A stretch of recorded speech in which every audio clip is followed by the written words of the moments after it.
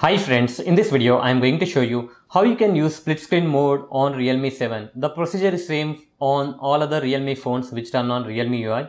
You can enter the split screen mode in more than 3 ways. I will show you each one. Let's see the first method to enter the split screen mode. Open the recent task on your Realme phone or Realme 7 and select the app which you want to enter split screen mode. Uh, on that particular app at the top right you will have two dots click on that and there will be option called as split screen click on that. Now here you can see that the top position is taken by that particular app and at the bottom position you can select any app. Let's click on play store. Here you can see that now we have entered split screen mode. You can resize this split screen mode by dragging this button like this. If you want to exit the split screen mode you need to drag down like this. It will exit the split screen mode.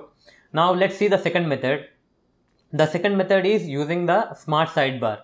Go to settings and go to convenience tool and click on smart sidebar and enable this option. I have already enabled the smart sidebar.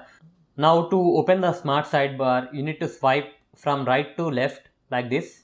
Here you can see that it will open the smart sidebar. In that you will have a lot of apps. You can customize these apps I made a separate video on how to use the smart sidebar. I will give the link in the description.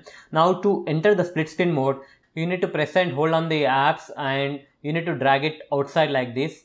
If that particular app supports split screen mode, it will enter into split screen mode automatically. At the bottom position, you can select any app. Here you can see that now we are in the split screen mode. Now to exit the split screen mode, you need to swipe down like this. It will exit the split screen mode. Now let's see the third method to enter split screen mode. Open any app. I am opening Chrome again. You need to use your three fingers and you need to swipe up like this it will enter the split screen mode. Now at the bottom position you can use any app. Here you can see that. To exit split screen mode you need to drag like this it will exit the split screen mode. So that's it guys in this way you can use the split screen mode on any Realme phone which is running on Realme UI. Hope you like this video. Please subscribe to our channel. Thank you.